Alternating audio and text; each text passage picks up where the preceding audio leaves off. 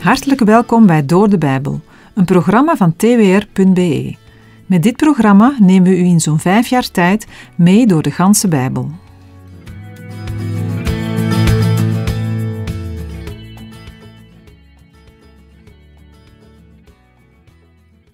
Welkom bij uitzending 1184. We gaan verder met de bespreking van de profeet Zacharia. Hij was uit de ballingschap teruggekomen en woonde in Jeruzalem. We hebben al vaker gezegd dat het een tijd van wederopbouw was, die met veel moeite gepaard ging. Maar naast de zichtbare tegenstand en moeilijkheden was er ook geestelijke strijd. Daar zagen we iets van in het gezicht in Zacharia 3, waar Satan Jozua aanklaagt. Maar de Satan klaagt al de gelovigen aan. Ook in openbaring lezen we dat hij beschuldigingen inbrengt tegen gelovigen. En niet zo'n klein beetje ook. Er staat dat hij dat dag en nacht doet. Jozua zelf zegt niets. Hij staat in vuile kleren bij God en wacht af. De Heere zelf neemt dan het woord en spreekt hem vrij. De Heere heeft Jozua en met hem het volk Israël gered en komt voor hen op. Satan moet zwijgen. Ook in deze tijd bidt Christus als hoge priester voor ons. Als we aangeklaagd worden, als we twijfelen of Gods vergeving wel echt voor ons is, dan mogen we terugvallen op Gods belofte. Indien wij onze zonden beleiden, dan is Hij getrouw en rechtvaardig om ons te vergeven. Nergens staat dat een zonde te groot is voor Gods genade. Zijn genade wint altijd. Satan heeft niet het recht om beschuldigingen in te brengen tegen de uitverkoren kinderen van God. Als we naar onszelf kijken, schieten we inderdaad tekort. Maar dat moeten we ook niet doen. We mogen zien op Christus die onze plaats heeft ingenomen en het ook nu voor ons opneemt. Dat snoert de tegenstander de mond. We zijn nu bij Zacharias zevende visioen gekomen. Als we terugdenken aan de visioenen die hij gehad heeft, kunnen we een verhaal zich zien ontvouwen. Hij heeft gezien de ruiters onder de mertenstruiken, de vier horens, de vier smeden of timmerlieden, de man met de meetlat, Jozua en Satan, en daarna de spruit en de steen met zeven ogen erop. De eerste vier visioenen symboliseren de uiterlijke bevrijding uit de slavernij en de onderdrukking door Babylon. De visioenen zien ook naar de eindtijden, als Israël weer zal verstrooid zijn over de wereld, zoals ze vandaag zijn. Daarna teruggekeerd naar hun land als de Heer Jezus ze terugbrengt. Het vijfde en zesde visioen symboliseren innerlijke redding. De hoge priester Jozua, gekleed in vuile kleren die God verving door schone kleren, vertelt het verhaal van een volk dat werd teruggebracht naar het land voor een doel, maar ze kunnen in hun zonde niet worden gebruikt. Ze moeten gereinigd worden, maar ze kunnen zichzelf niet reinigen en hun religie zal dat ook niet doen. De reiniging moet komen van iemand buiten zichzelf. God zelf levert de verlossing met het kostbare bloed van een volmaakt en vlekkeloos lam, het bloed van Christus. De reiniging is feitelijk redding. In Titus 3, versen 4 en 5 lezen we: Maar toen de goedertierenheid van God, onze zaligmaker, en zijn liefde tot de mensen verschenen is, maakte hij ons zalig, niet op grond van de werken van rechtvaardigheid die wij gedaan zouden hebben, maar vanwege zijn barmhartigheid, door het bad van de wedergeboorte en de vernieuwing door de Heilige Geest. Redding is nooit te danken aan eigen verdienste of prestatie, ook bij ons niet. Het is allemaal genade. Uit onszelf konden we niet opstijgen uit de put van het verderf. De Heere zelf is op ons afgekomen met zijn ontferming, bewogenheid en medelijden. En ook dat is niet uit de lucht komen vallen.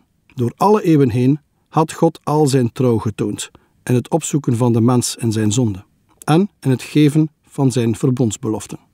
De Heere verbond zich aan Israël en bracht zijn beloften tot vervulling in Christus, het hoofd van de christelijke gemeente van het nieuwe verbond. God de Vader heeft zijn Zoon Jezus gegeven om ons te redden. Dat is Gods liefde en goedertierenheid voor ons mensen. Hij heeft onze zonden afgewassen, ons nieuw leven gegeven en ons vernieuwd door de Heilige Geest, die Hij rijkelijk over ons heeft uitgegoten.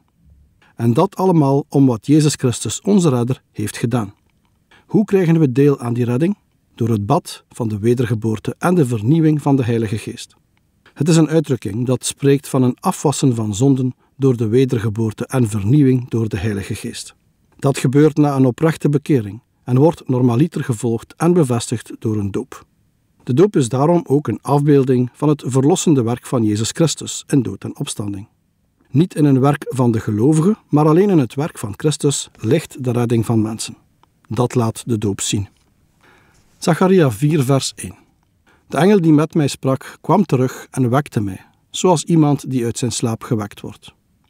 Nu de hoge priester Jozua gereinigd is, is hij bijna gereed voor de dienst. We komen nu bij het visioen van de gouden kandelaar, dat ons zal tonen hoe Jozua het ambt van hoge priester moet vervullen. Laat me je aandacht weer vragen voor het feit dat Zacharia wakker was toen hij deze visioenen ontving. Ondertussen had hij al zes geweldige visioenen gehad. Hij werkte in de avonddienst en in de nachtdienst en het was tijd om een beetje rust te hebben. Nadat hem dus het zesde visioen was gegeven, doezelde hij weg.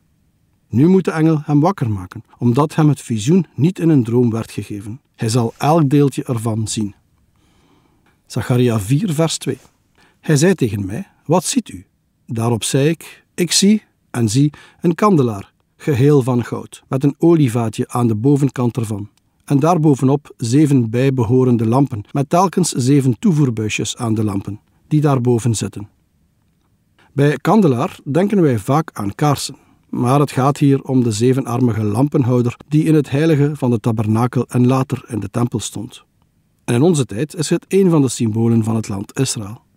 Er zijn andere symbolen van dit land die in de Bijbel worden gebruikt, zoals de brandende braambos, de wijnstok en de olijfboom. Maar hier is het de menorah, de lamphouder. In de tabernakel en later in de tempel was de zevenarmige lamphouder het prachtigste van de meubelstukken. Hij was met de hand gemaakt van massief goud.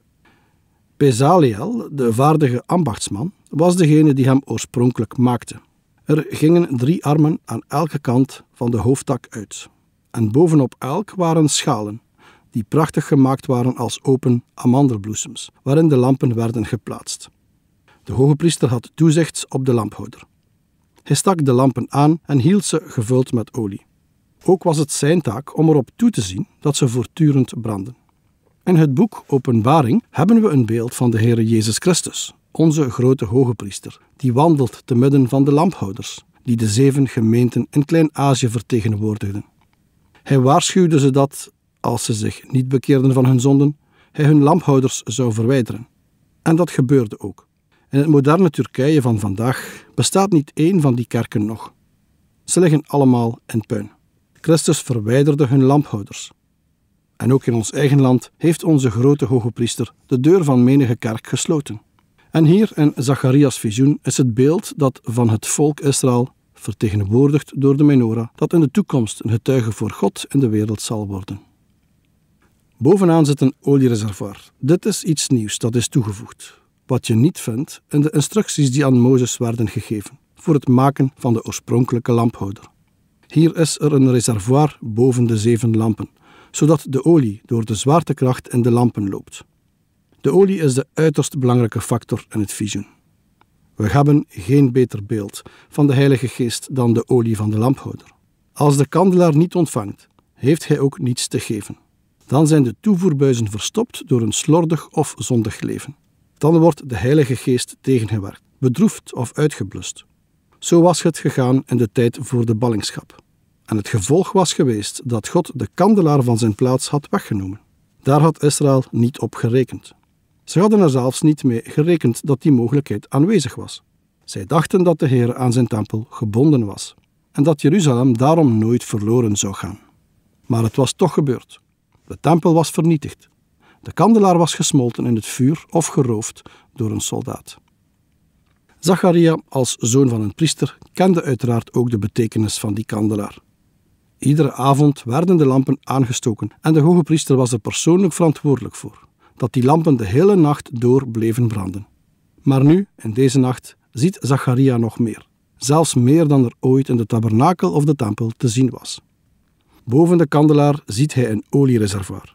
Verder ziet hij toevoerbuisjes, die de zeven lampen vanuit het oliereservoir van olie voorzien. In de tabernakel of de tempel waren het priesters die ervoor moesten zorgen dat de lampen olie genoeg hadden. Maar in het visioen dat Zacharia ziet, komt er geen mens aan te pas. Zacharia 4, vers 3. Met twee olijfbomen ernaast, één aan de rechterkant van het olievaatje en één aan de linkerkant ervan. De twee olijfbomen werden in Zacharias tijd geïdentificeerd. Zerubabel, die de koning in de lijn van David was, is één van de olijfbomen. De andere olijfboom was Jozua, de hoge priester. Ze zouden de twee instrumenten zijn die God zou gebruiken om het licht terug te brengen in het volk Israël en ze tot een licht voor de wereld te maken. Maar deze profetie is ook bestemd voor een toekomstige tijd, de periode van de grote verdrukking. Dit wordt voor ons helder geïdentificeerd in het boek Openbaring. Daar staat in hoofdstuk 11, versen 3 en 4. En ik zal mijn twee getuigen macht geven, en zij zullen, in rouwkleding gekleed, 1260 dagen lang profiteren. Zij zijn de twee olijfbomen en de twee kandelaars, die voor de God van de aarde staan. In de periode van de grote verdrukking zal de antichrist de mond van elke getuige op de aarde dichtstoppen, met uitzondering van twee. God zegt dat altijd in de mond van twee getuigen iets vast ligt. Ook zegt God dat hij zich nooit zonder een getuige zal laten. Tijdens die periode zullen er deze twee mannen zijn die voor hem zullen getuigen. Wie zij zijn is speculatie. Ik denk dat wellicht Elia een van hen is. Maar of de andere Henoch is, of hij Mozes is, of hij Johannes de Doper is, of iemand anders, weet ik niet. Maar hun identiteit is niet het belangrijke. God zal twee getuigen hebben, en ze zullen spreken in de kracht van de Heilige Geest in die tijd. Want de olie stelt de Heilige Geest voor, zoals we reeds hebben gezien. Zij zullen Gods getuigen zijn. Dat is zijn belofte voor de toekomst, net zoals gij Zerubabel en Jozua gebruikte in Zacharias tijd. De inhoud van het getuigenis of de profetie van deze twee getuigen wordt nergens precies aangeduid. Maar als we aannemen dat de kleding van de getuigen iets zegt over hun boodschap, betekent het dat zij oordeel aankondigen. Het is aannemelijk dat de twee getuigen spreken over Jezus Christus en de naderende komst van de grote dag van de Heer. Maar de nadruk ligt in dit gedeelte eerder op hun optreden dan op de inhoud van hun getuigenis. De twee getuigen zullen tijdens de korte periode van hun optreden op bovennatuurlijke wijze beschermd zijn. Wie de getuigen bedreigt, zal zeker niet ongestraft blijven. Laat me nog eens zeggen dat de visioenen van Zacharia als stapstenen zijn die een verhaal vertellen. Ze onthullen een heel mooi en compleet beeld als we ze bij elkaar zetten. God gaf deze aan het teruggekeerde overblijfsel ter bemoediging. De Israëlieten waren in Babylonische ballingschap geweest en nu waren ze teruggekeerd naar het land Israël. God had het ze duidelijk gemaakt dat dit alles gebeurd was volgens zijn plan en bedoeling. Nu, terug in het land, moesten ze gereinigd worden van hun zonden en in een juiste relatie gebracht worden met God, zodat ze een effectief getuigenis voor hem konden uitbrengen. Hoewel deze visioenen van Zacharia een plaatselijke vervulling hadden voor het verleden, keken ze ook vooruit naar de toekomst. De complete vervulling zal tijdens de duizendjarige periode zijn als God het Joodse volk naar het land Israël zal terugbrengen. En God zal ze reinigen in die toekomstige tijd. In hoofdstuk 13 van Zacharia zullen we zien dat een bron zal worden geopend voor de reiniging van Davids nakroost en voor de inwoners van Jeruzalem. Nadat ze zijn gereinigd, zullen ze een licht voor de wereld worden, wat Gods oorspronkelijke bedoeling voor hen was. In Deuteronomium 32, vers 8 lezen we dit opmerkelijke vers. Toen de Allerhoogste aan de volken het erfelijk bezit uitdeelde, toen hij Adams kinderen van elkaar scheidde, heeft hij het grondgebied van de volken vastgesteld, overeenkomstig het aantal Israëlieten. Waarom ordende hij de naties naar het getal van de Israëlieten? De reden is dat God van plan was dat ze zijn getuigen zouden zijn. Het land Israël is een heel gevoelig stuk onroerend goed. God heeft het gekozen en het zo gemaakt. Hij koos het omdat het het centrum was van de drie grote continenten: Afrika, Azië en Europa. Het ligt pal op de kruispunten van die drie werelddelen. Er is geen plek op aarde die gevoeliger is of die meer internationale problemen heeft veroorzaakt dan dat plekje. Ik denk dat God bedoelde dat het zo zou zijn. En er zullen problemen zijn, totdat Israël het centrum wordt voor de proclamatie van het woord van God. In Ezekiel 5 vers 5 lezen we, Zo zegt de Heere Heere, dit is Jeruzalem. Ik heb het te midden van de heidenvolken gezet met landen eromheen. Waarom? Zodat het een getuige kon zijn. En in die toekomstige tijd zullen ze een getuige zijn, in alle hoeken van deze wereld. Israël heeft in het verleden gefaald, maar laten we niet met het hoofd schudden. De kerk faalt in de huidige tijd. Hoewel Christus ons heeft bevolen om in de hele wereld te gaan met het evangelie, zijn er veel plaatsen in de wereld die helemaal geen getuige kennen. De lijnen van Zacharia naar openbaring zijn niet altijd direct duidelijk, maar één ding staat vast: de Heere regeert en alles verloopt volgens zijn plan.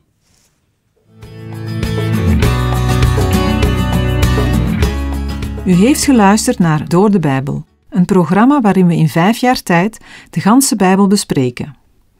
De basis voor het programma is de Bijbelstudiereeks van Dr. Vernon McGee, Through the Bible.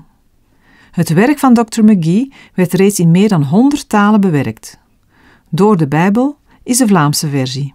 Meer info over Through the Bible en andere bewerkingen vindt u op www.ttb.org.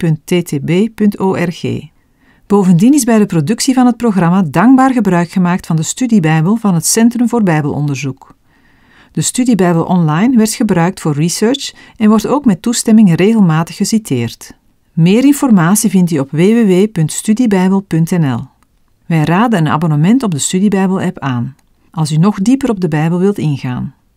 U kan elke werkdag naar een nieuwe uitzending luisteren en u kan ook steeds voorbije uitzendingen opnieuw beluisteren of downloaden. Als u wilt reageren op deze uitzending of u heeft vragen, dan kunt u uiteraard contact met ons opnemen. U kan een e-mail sturen naar doordebijbel.twr.be. Verder kan u op onze site terecht www.twr.be voor meer info en het beluisteren van onze overige programma's. Dit programma werd gepresenteerd door Patrick Couchement en Anne Notenboom. Wij danken u voor het luisteren en graag tot een volgende keer.